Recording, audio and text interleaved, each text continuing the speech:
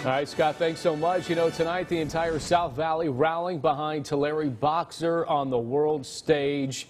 There he is, Richard Torrez Jr. Mission Oak High School hosting that watch party tonight for their very own Torrez Jr. as he takes on a Kazakhstan boxer in the men's super heavyweight semifinals, looking to become the first American super heavyweight to fight for a gold medal since Riddick Bowe in the 1998 Seoul Games. Our Medeiros Bab joining us live for that watch party. Medeiros, how many people decided to stay up late with us for this big moment?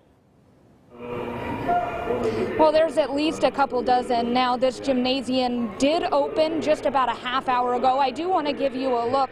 Now, this was open to anyone, but masks were required. Now, Torrez Jr. did graduate from here, and many in the community anxiously waiting tonight to cheer him on. Now, nobody sees what the sweat and the tears and the pain that happens, happens behind the closed doors of a gym. You know, they only see when you dance in front of those lights you know, he's dancing in front of the lights and people are coming along. And so it's awesome if the community supporting him. But with the rewards that people are giving him, he, he feels like he's getting a million bucks.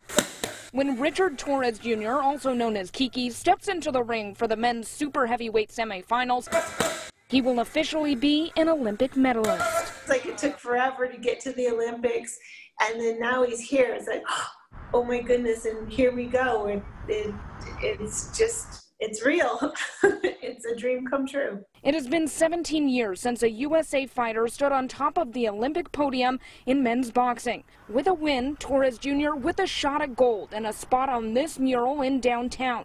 It showcases Tulare natives and Olympic gold medalists Sim Iness and Bob Mathias. With a loss, Torrez Jr. will bring home bronze.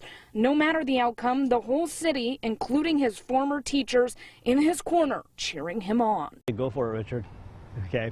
But just go for it because you've got it in you. You have, you have the power.